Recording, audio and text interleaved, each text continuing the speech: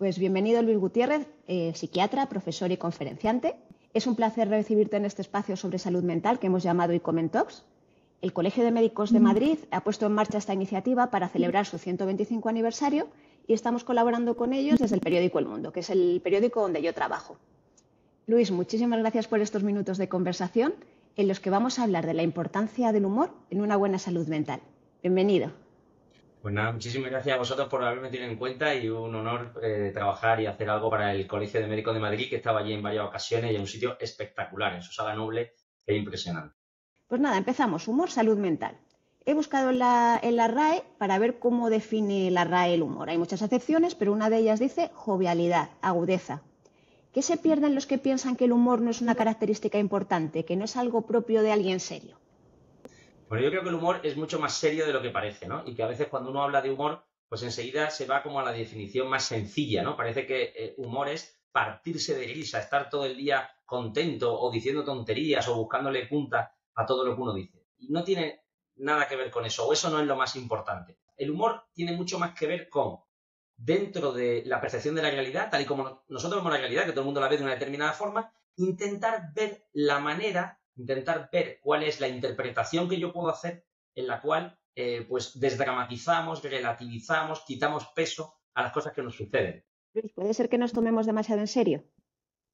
No me cabe ni la más mínima duda. A nosotros mismos y, y, al mundo en general, ¿no? Uno pone, tú que trabajas en un medio de comunicación, uno va a un periódico digital o va a una televisión, y es que, claro, son todo dramas. También porque es lógico, porque es lógico que los medios de comunicación pongan el acento en lo que no va bien, ¿no? Eh, eh, ¿Qué es noticia? Pues el avión que se cae, no los miles de aviones que no se caen. ¿Qué es noticia? Pues que ha habido un atentado o que ha habido un, incendio o lo que sea. Pero claro, o que ha habido una violación.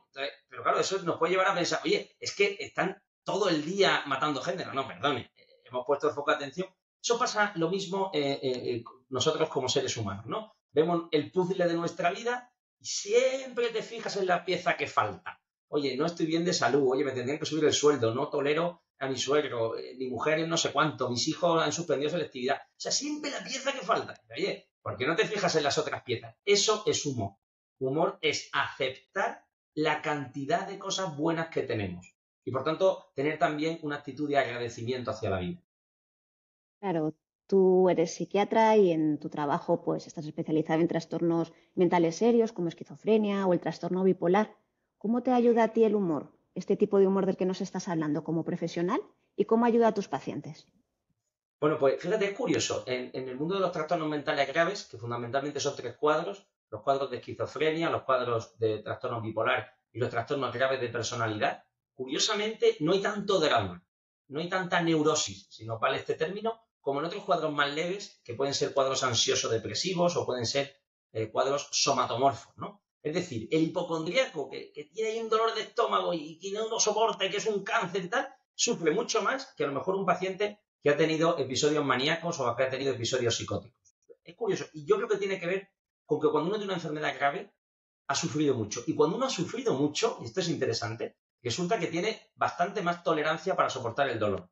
A mí, los pacientes con trastorno mental me enseñan más que yo a ellos. ¿Por qué? Porque me enseñan cómo ellos afrontan la vida y cómo ellos valoran mucho más las cosas buenas. Porque cuando te faltan muchas piezas del puzzle y consigues alguna, oye, lo valora mucho más. Y los que hemos sufrido poco, porque hemos sido personas muy afortunadas, en la primera de cambio, en lo primero que viene, en la primera dificultad nos venimos abajo. Para esto hay una vacuna maravillosa que se la voy a decir a todos los eh, médicos del Colegio de, Madrid, que es hacerse del Atlético de Madrid. Estás del Atlético de Madrid y tú ya eres inmune a cualquier tipo de sufrimiento. Pero si estás acostumbrado a ganar una Copa de Europa cada dos años, pues lógicamente vas a sufrir mucho cuando pierdas.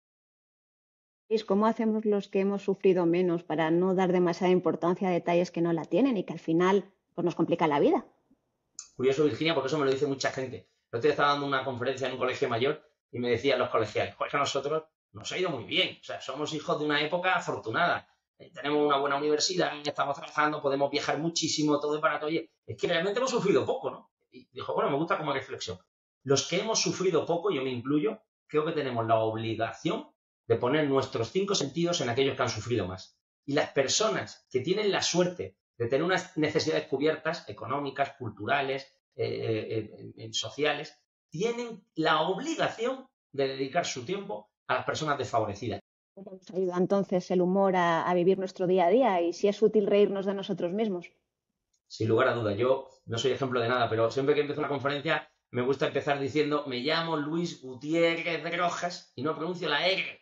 Con todo un monólogo acerca de la R fue como llegué eh, a ser finalista del Club de la Comedia. Y a veces pienso, oye, esto de no pronunciar la R me ha venido muy bien, porque yo que, por ejemplo, doy conferencias de depresión y hablo de recuperación, recaída, remisión, trastorno depresivo recurrente, pues estoy con la R y la gente se ríe mucho. Bueno, creo que la mejor manera de no sufrir es reírte de tu defecto.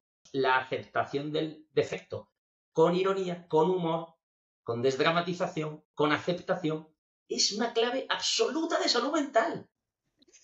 ¿Y crees, Luis, que esta vida acelerada mata el buen humor? Estamos como de mal humor constantemente. Hay un refrán, el granadino, que dice, piensa mal y acertarás. Hay otro todavía peor, que es piensa mal y te quedarás corto. Claro, este querer ver mal unido a la aceleración que tú señalas, pues lo que te hace es persona de una angustia existencial. Oiga, ¿quiere usted disfrutar del café que se está tomando? Fijaros, el mindfulness, que está muy de, moda, es precisamente eso, la concentración en lo que haces, en lo que haces.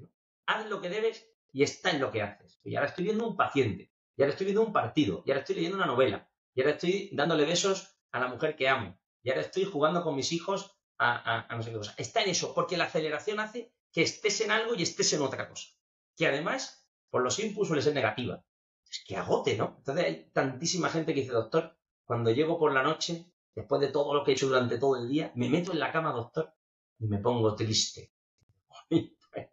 Podía uno tener otra visión. Encima de que te has dejado la piel, mira, mira, para eso no hagas nada, y lo mismo no te pones tan triste, ¿no? es curioso, ¿no? Es curioso. Tenemos que saber ver esa chispa de la vida de que la mayoría de las cosas que hacemos y las hacemos bien, nos tienen que generar satisfacción. Entonces, ¿qué emociones negativas pueden desaparecer con unas buenas risas? Bueno, mira a ver qué hablas. Dice la Biblia, de la abundancia del corazón habla la lengua. No, habla de lo que siente, de lo que desea. ¿Cómo hablas? Oye, ¿a ver cómo habla la gente? Ahora que acabo de volver de vacaciones, ¿qué tal? Fatal, ¿qué tal? Superman, he descansado. Nada, estoy. Otra vez. Eh, mira, mira cuánto y una. Encima estoy con eso cuando todo carísimo. Yo te digo, parece que viene de un campo de concentración. Pues, oye, llévate ese recuerdo agradable. Luego, ¿cómo podemos ver esas emociones negativas, cambiar esa emoción negativa? Analicemos lo que pensamos, analicemos lo que hablamos. Y una cosa interesante, analicemos lo que generamos. Gente que dice, yo es que no tengo amigos, o la gente me da de lado, o nadie me llama nunca. Vale, perfecto. Puede ser que el mundo esté rodeado de psicópatas mm, tóxicos que te quieren destrozar. Pero también a lo mejor tiene algo que ver con que es que uno habla contigo cinco minutos y es que eres agotadora, es agotador. Que solo hablas mal de todo el mundo o solo hablas mal de... Eso deprime, espanta. A la gente le gusta estar con gente que le alivia. Luego, pensémoslo un poco. Fijaros, son cambios muy pequeños. Si uno deja de hablar con esas exageraciones, si uno intenta hablar en positivo, supongo que este eh, eh, vídeo lo verán muchísimos médicos. Si yo como médico genero una expectativa positiva, usted se va a poner mejor. ¿El humor como antídoto del estrés y la ansiedad? Bueno, volvemos a lo de antes, ¿no? Eh, ¿Qué es lo que nos, Primero, la ansiedad y la depresión, digámoslo claro, tiene una base biológica. O sea, no, no, pensemos que todas las personas que sufren cuadros de este tipo pues son culpables porque no tienen humor, ¿no? Sería muy simplista. Pero es verdad que hay determinados cuadros que tienen que ver, sobre todo, con rasgos de personalidad, con maneras de funcionar, de ver el mundo, con estrategias de afrontamiento demasiado basadas en el miedo y en el temor. Y eso tiene parte biológica tiene una parte también educativa. Luego, ¿cómo me tomo yo las cosas? lo que le pasa al ansioso y al depresivo es que exagera mucho, dramatiza mucho, continuamente, ¿no? Eh, eh, eh, pero pero con, cualquier cosa. A mí me hace gracia cuando, no sé, cualquier cosa, voy de viaje a no sé dónde, dice, pero ¿no te has enterado que va a venir la dana? Así que la dana me cae en la cabeza. Pero ¿no te has enterado que ha habido una huelga de mm, controladores aéreos en Francia? no sé en qué planeta vive, yo vivo en otro planeta. Entonces, ojo con todos esos dramas, porque eso induce más ansiedad. Al final, el miedo es, va a salir mal, me va a ir mal, me van a mirar mal, no me va a salir. La cantidad de cosas, yo lo pienso muchas veces, de, premios, de becas, de posibilidades, de viajes, de situaciones, que uno se pierde porque ha salido derrotado antes de empezar. Ya verás como a mí no, no me va a salir. Eso es muy propio del ansioso. El ansioso tiene conductas que llamamos fóbico-evitativas. Evito la situación estresante. Cuando lo que tendríamos que hacer es analizar por qué eso te estresa. Y descubriríamos que tiene mucho más que ver con las reacciones, con cómo yo hablo, con cómo yo me comporto, con cómo yo exagero. Luis, sobre el exceso de dramatismo, te leí algo que me llamó la atención. Dices, cuando alguien dice estamos viviendo el peor momento de la historia, así como con un tono grave y muy intenso, tú le respondes que estamos en la guerra civil, en la Segunda Guerra Mundial.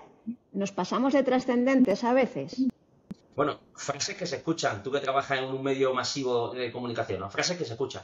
Esta es la mejor generación formada y está en la peor circunstancia posible.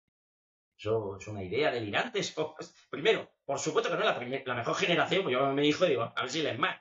Y segundo, por supuesto que no es la peor situación. Pero, pero ¿qué me estás diciendo? Pero si, pero si, pero si tenemos un escudo social, eh, eh, eh, ¿cuánta gente se muere de hambre al año en España? si uno analizara, oye, datos, mira, voy a, empezar a decir datos. mundiales, ¿eh? Nunca ha habido menos analfabetos. Nunca. Nunca ha habido más acceso a agua potable. Nunca ha habido menos muertos en conflictos armados, a pesar de lo de Ucrania. O sea, cada vez hay menos guerra en el mundo. Nunca ha habido menos pobres. Eso tampoco se escucha. Menos pobres. Pero ¿qué es lo importante? Lo importante es que, después de tres años, el Madrid no ha fichado Mbappé. Y eso es una drama absoluto y total, cuando parecía que venía este verano. Es decir, la chorrada cósmica, la última estupidez, la última tontería, porque no se sabe bien qué pueblo, resulta que hay estafilococo y han cortado el agua durante tres horas. Así nos va. Entonces, oiga, eh, a nivel macro, la vida es maravillosa. ¿Por qué motivo eh, las personas sufrimos tanto con estupideces, con chominar, que dicen aquí en Andalucía? Porque no tenemos estrategias para afrontar el sufrimiento, porque hemos vivido en una época fantástica, donde todo, la inmensa mayoría de las cosas importantes, la tenemos a golpe de clic. No parece que eso sea bueno para fomentar la paciencia, la resiliencia y la capacidad de soportar el dolor. Luis, para terminar, después de todas estas explicaciones tan lógicas que nos has dado, vamos a resumir un poco para que se lleven como, la, lista de tareas. ¿Qué puede hacer por nosotros el humor? Bueno, yo, yo lo que diría es, eh, analiza durante tu día cuántos momentos has tenido, porque al principio lo decía, ¿no? No se trata de estar en carcajar, pero cuántos momentos has tenido de paz y de tranquilidad. La paz y la tranquilidad y la sonrisa serían los frutos del humor.